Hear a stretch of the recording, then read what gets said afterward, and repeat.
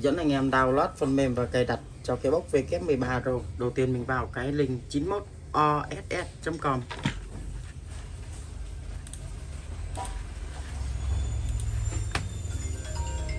đây, cái máy này của mình sẽ gỡ bỏ cái phần mềm mình đã cài rồi nhé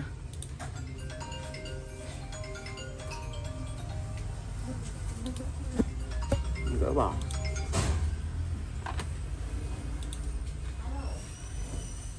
Ở trên cái màn hình chính này, mình chọn cái tab thứ ba này để download này.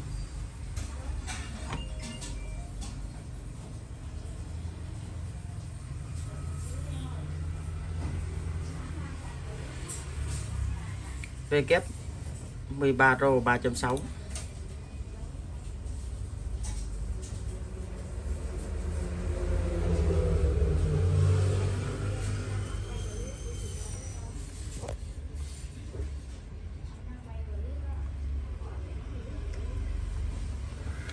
Rồi cái này mình sẽ chờ để nó download xong rồi mình tiếp tục nhé.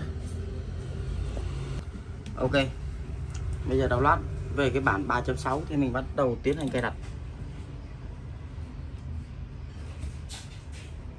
Ở cái phía ờ, trên đây mình thích cái cái dấu vào, cái chữ nó sáng lên thì nhấn nét, N là nét. Đây là cái đường dẫn để nó cài đặt là ổ C.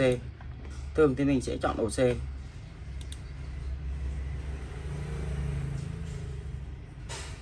vậy là xong.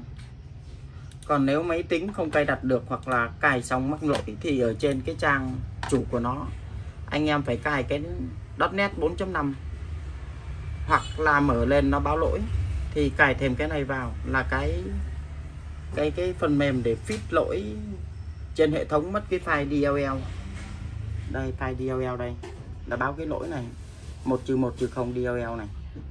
Thì mình cài cái phần mềm phần mềm này, phần mềm phần mềm này vào là ok. Sau khi cài đặt xong thì ở trên cái màn hình của mình nó sẽ có cái icon.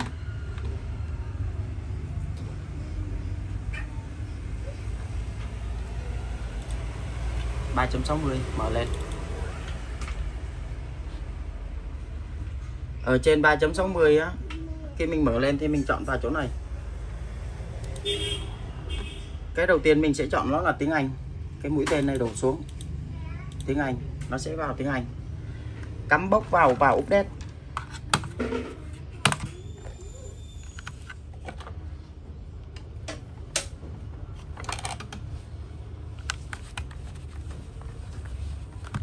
Cắm bóc vào, giữ cái phím này mở nguồn.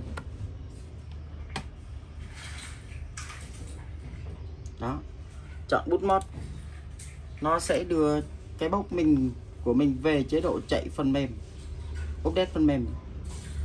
Ok trên đây chọn update box chọn yes thì quá trình update box nó diễn ra xong rồi nó sẽ khởi khởi động lại cái box của mình là xong. Và đây mình đây bản phần mềm 3.6 à, phiên bản phần cứng là 3.0 và update phần mềm ở trên box là 3.6 ok xong nhé